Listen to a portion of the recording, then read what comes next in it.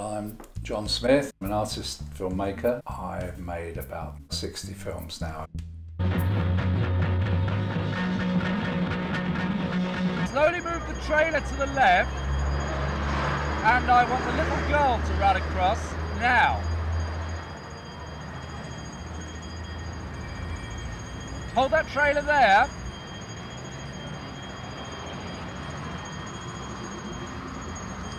Now move the trailer off.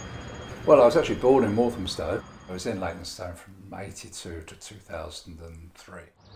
It was from here that I first saw it, its crest protruding over the roofs on the other side of the road. Surprised that I hadn't noticed it before, I wondered what it was and then forgot about it for several weeks. So I got a short life, uh, supposedly short life, art, artists housing association, four bedroom house, uh, which was in a real state, but it was a four bedroom house. Uh, for a rent initially, I think of £60 a month. And I was given a house in Colville Road, Leytonstone, which was on the route of the proposed M11 link road, uh, and told that maybe I'd have like a year and a half in Leytonstone. And having lived in the house for a very short time, I realised that there was a big protest against the road.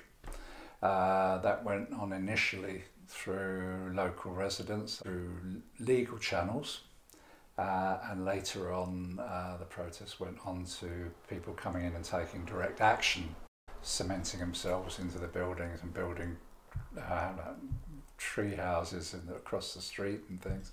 Uh, I was told originally I'd have like maybe a year and a half, two years before I had to move out of the house, uh, and I ended up living there for I think 13 or 14, 13 or 14 years before I finally got evicted and the house got demolished and the road sadly got built.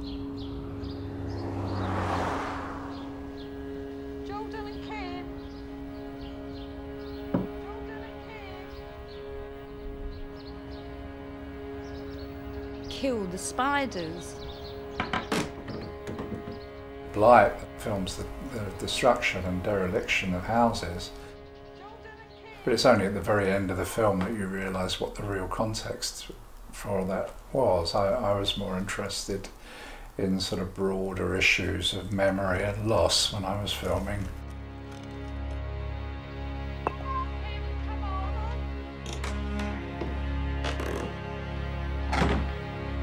Kill the spiders for me. Reason I'd quite like to show Blight at the beginning of the programme, so people are aware that I can actually make films. I deliberately made Home Suite as, as, as three very long takes with a handheld camera with me filming and talking at the same time. Uh, Home Suite is deliberately very, very rough and ready and raw. I lived in this house for much longer than I expected to.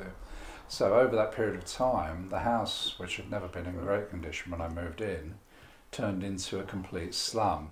Occasionally we'd have that revelation when somebody was coming round who hadn't been there before, thinking, oh God, this is really embarrassing that I live here. At that time, a new program on television called Changing Rooms started, which was all about home improvements. And, and of course, we have lots of programs like that now. And I thought, I'm going to make a film where I'm completely in denial about the horror of the place where I live, and I'm going to talk about it with pride.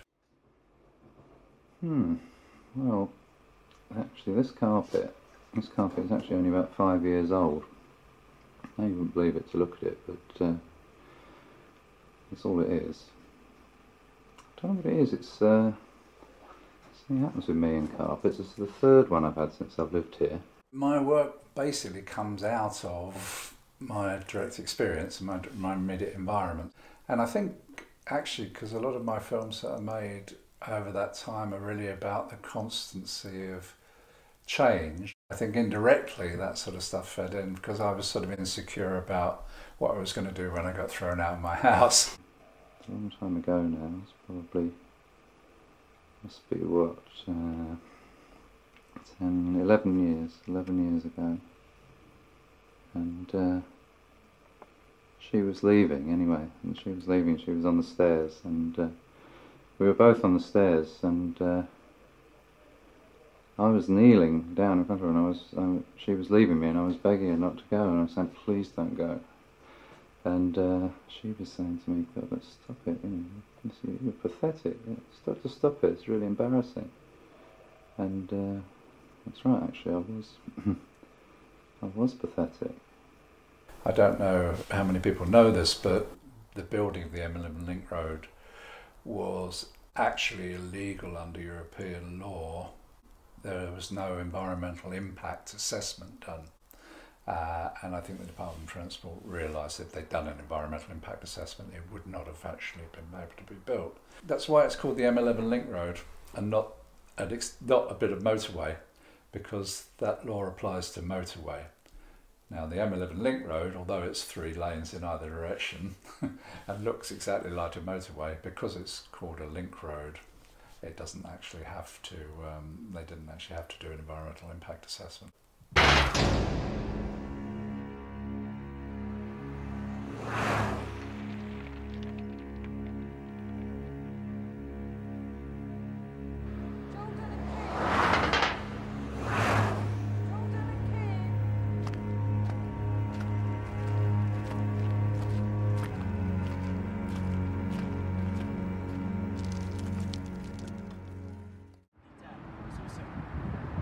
Case was lost in the courts. But the thing that was very clear was that towards the end, people came in and took direct action, concreted themselves into the basements, built tree houses, did all of this stuff, caused an amazing amount of media attention, which of course we'd never got through league, we never got through, you know, the sort of the conventional channels, and actually changed the um, general attitudes to things. I think, and it was very, very important. So I think it's of course good to try and challenge things in the courts.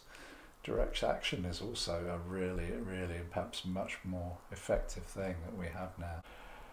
Whenever I go on a demonstration, I wish I, there were more people there, and especially with the terrible things that we're confronting at the moment that people should be addressing.